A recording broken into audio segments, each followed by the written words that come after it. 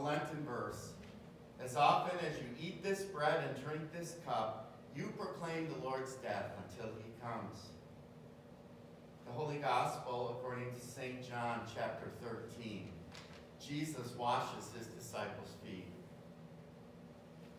It was just before the Passover feast.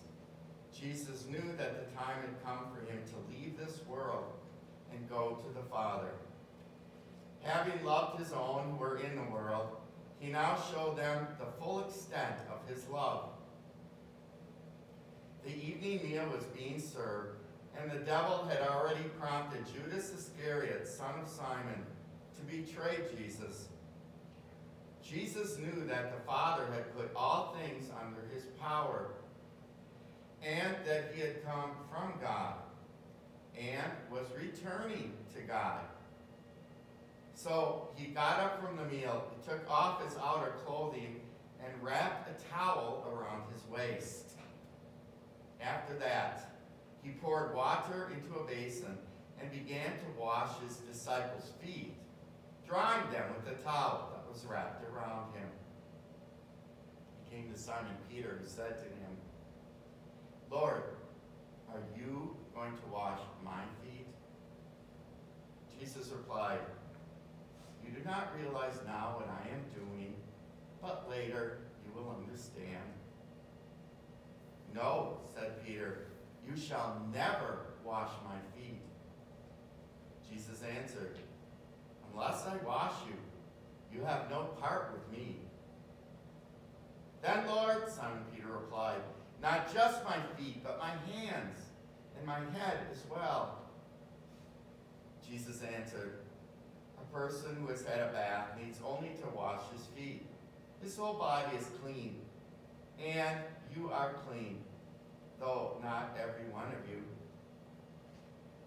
For he knew who was going to betray him, and that was why he said not everyone was clean. When he had finished washing their feet, he put on his clothes and returned to his place. Do you understand what I have done for you? He asked them. You call me teacher and Lord, and rightly so, for that is what I am. Now that I, your Lord and teacher, have washed your feet, you also should wash one another's feet. I have set you an example that you should do as I have done for you. I tell you the truth. No servant is greater than his master, nor is a messenger greater than the one who sent him. Now that you know these things, you will be blessed if you do them. The Gospel of Jesus Christ. Praise be to you, Lord Christ. The hymn of the day on page 6 is 717, verses 1, 2, and 3. You may be seated.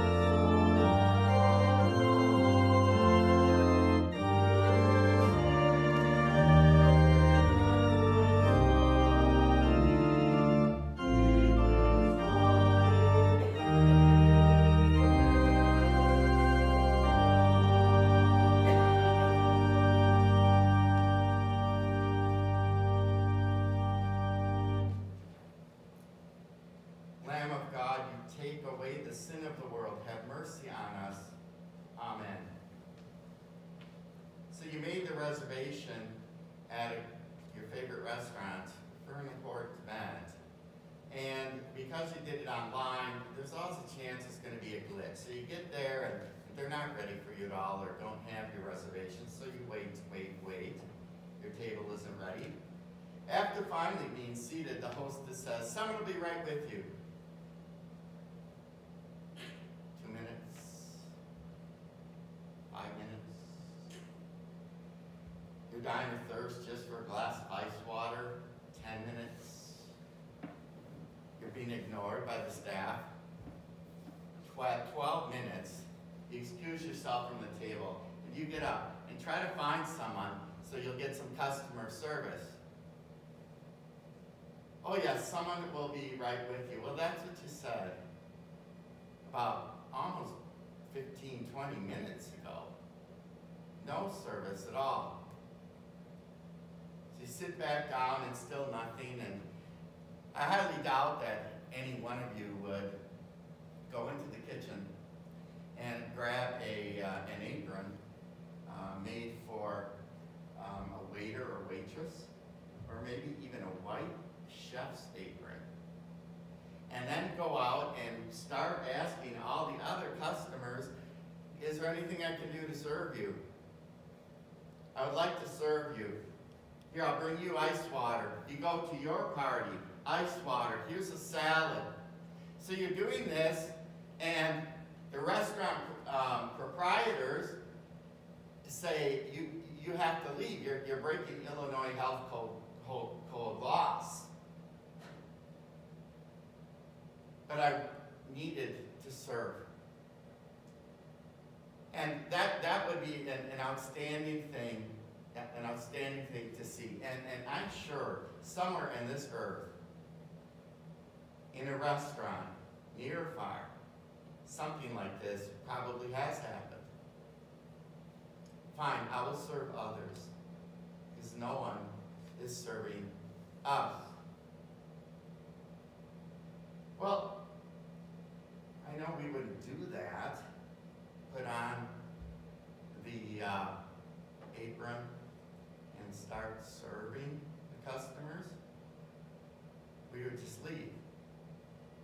And yet, it's sort of what Jesus did. He, he, he took off his, his outer um, cloak and, and he put on the servant's um, apron and a towel around his waist and found a basin of water used for washing the disciples' feet and his own feet. Not a common practice in the United States, but in the Western Orient where Jesus lived, especially before a major meal with other people, the washing of feet was both necessary and a polite practice. And that assignment was given to the little kid at, at his or her first job, or to the servant of the servant, to the servant's servant. And for obvious reasons. Because they ate from couches, the table was only about a foot tall, kind of like if they eat in Japan. And, and you kind of lie down and, and your feet are close to the table. So the, the feet needed to be washed, and Jesus began doing this. Now, this washing of the disciples' feet is one of Christ the King's, in my long history here, favorite readings. It happens to us once every three years. The other two years of Holy Thursday are about the institution of communion, which is also a service to us, a great service that we, of course, still practice. But this washing of disciples' feet, it, it just strikes us as extremely loving and, and, and humble of Jesus Christ and motivates us to serve each other in high ways, medium ways, or low ways. To find joy in servanthood. Now, Jesus did this not because he was complaining about the poor customer service in the upper room of Jerusalem at the Passover feast. Not that he was trying to shame us. When I say us, I mean disciples, his disciples. That's not why I did it. Well, none of you will do it. I guess I have to. Kind of what I say when the dishes start piling up to the moon and at our house and, and you know, and do it. Well, I should have done it in the first place, but that's not why he was doing it to shame anyone, but as teacher and Lord, to show them the extent of being a Christian and the extent of his love for the world, stinky feet and all. As St. John records, having loved his own who are in the world, he now showed them the full extent of his love. Okay, so it was about love. Now, love isn't compulsory. Love isn't used to shame people. Love isn't used to make you guilty. Love is to make you glad, to make you happy, to give you something, expecting nothing in return. And that's why Jesus did it. Of course, St. Peter um, objected, as he had in the past, Never, Lord, shall you go to the cross. Never, Lord, shall you fall into the hands of the Romans. Never, Lord, um, shall you be arrested and beaten. And now Jesus comes to Peter, kind of the, the spokesperson of the disciples, and Peter says, No, Lord, I will not allow you to wash my feet. Jesus replied patiently, You don't realize now what I'm doing, but later you will understand about love and service without cost. After I've given my all for you and rose from the dead, from the tree of the cross, and called you to follow me. No, said Peter, you shall never wash my feet. Lord, are you going to wash my feet? Unless I wash you, Jesus replied, you have no part with me. Boy, that stings a little bit. Well then, Lord, wash my head and my feet and my whole body. Jesus said, no, Peter, I'm not, you know, this isn't bath time. This, he said, you're already clean. Jesus was thinking of Peter's baptism in the River Jordan. Jesus was thinking of how many times he had forgiven Simon Peter and his disciples for their failures and encouraged them for their good works. Jesus said, You're already clean. He's talking about the soul. Although not every one of you is clean. He said this because he knew that Judas Iscariot had sold him out for 30 pieces of silver, a handsome sum, but not nearly enough to betray our Lord and Savior Jesus Christ, is it? So Jesus washes Peter's feet. Maybe the next person was Judas Iscariot. What do you think he did? He washed Judas' feet. He loved Judas. He loved them all. Though Judas had already betrayed him and the devil had entered his heart at that time. We see that Jesus serving human beings is not based on our behavior or opinions. Understand that? It's not based on our behavior or opinions. If it were, then he would not have washed Judas' feet. Then he, then he would not have washed Peter's feet, who denied knowing him three times later that night, and who said, Never, Lord, shall you go to the cross. He would have never got to the cross if he based his serving, his humble service, on our behavior and opinions. he's compelled by love to do it anyway. And he calls us the same. That he says, Now as I, your master and your teacher, have washed your feet, you go do the same. And if we only wash the feet of those of whom we have current approval, we sin greatly. We are to serve and wash and be willing to wash everybody's feet, no matter their behavior or their opinion. And by that, I mean serving them with the law and gospel, with the love of God, with, with the hope of forgiveness, with the second chance, with charity and peace for all, and hatred toward no one. Not based on their behavior, based on Christ's love in our lives. Jesus made another point here. Unless I wash you, you cannot be saved. It's because we cannot save ourselves, much less other people, but we can lead them to our Lord out of our life of service. Now, I'll serve myself is prevalent in our country, which, which makes Christian evangelism very difficult in this country. I'll serve myself. And sometimes that might be fine at the gas pump, at the kitchen stove, at, this will never come back, a salad bar at a restaurant. I'll serve myself, but we can't always have that prevalent attitude lest we be damned. Christ himself, God, must serve us so we can be saved. That's what Jesus was saying here.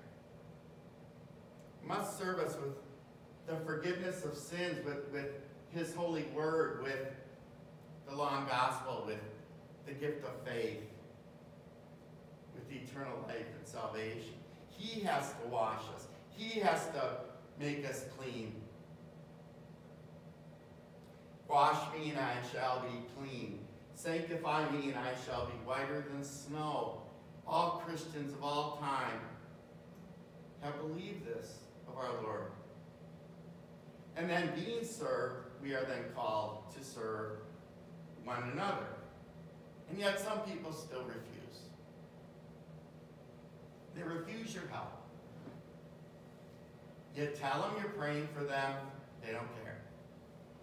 They refuse your foot washing, so to speak. For one reason or another, usually human pride,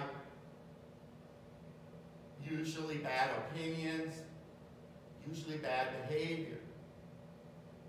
There's a saying that says you can lead a horse to water, but you cannot make it drink. And that, ha that happens when we try to serve people and, and they, they, won't, they won't drink the water. They refuse the foot washing. They refuse the Lord. But remember these words, O sinful mankind, on every continent. No, said Peter, you shall never wash my feet, period. Jesus answered, unless I wash you, you have no part with me.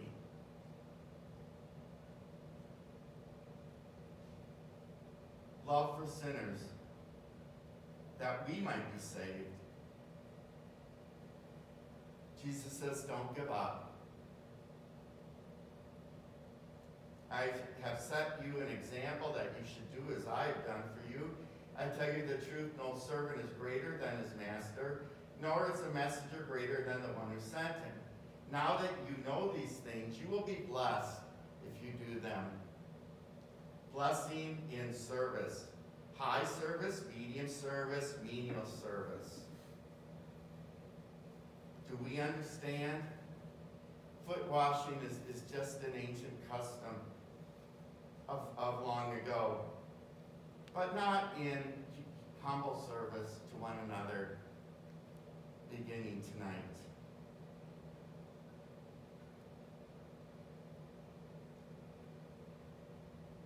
when we have a servant's heart, we are blessed, Jesus says. Especially when we extend our bend knee in humble service, so to speak, of washing another person's feet. No wonder the Bible said just this past Sunday as we began Holy Week in this festive chapel, your attitude should be the same as that as Christ Jesus. And isn't that what Jesus told them? He said, Now that you know these things, you'll be blessed if you do them. Now that I, your Lord and teacher, have washed your feet, you also should wash one another's feet. I have set you an example. St. Paul writes in Philippians, Your attitude should be the same as that as Christ Jesus on that evening who being in very nature God, did not consider equality with God something to be grasped, but made himself nothing, taking on the very nature of a servant. St. Paul wasn't there. Certainly he heard about Jesus last night on the earth before his death, that he washed the disciples' feet, made himself nothing taking the very nature of a servant. So helping other people out is an attitude granted by your Lord in the spirit of Christian faith, which by nature is extremely humble and grateful. And Jesus says, I will bless you because of your humble heart and humble hands the hands of the passion, Jesus' hands of humility, care for our every need, body, soul, and spirit. Therefore, bless our hands, O Lord, today, to tend to each other as best we can, as you have so served us. Thanks be to God for your washing hands of love. Amen. The peace of God, which surpasses all understanding, guard your hearts and minds through faith in Christ Jesus. Amen. And the offertory is offered now, a musical and prayerful one. The offering plates for our gifts are in the entryway of our church. You may be seated.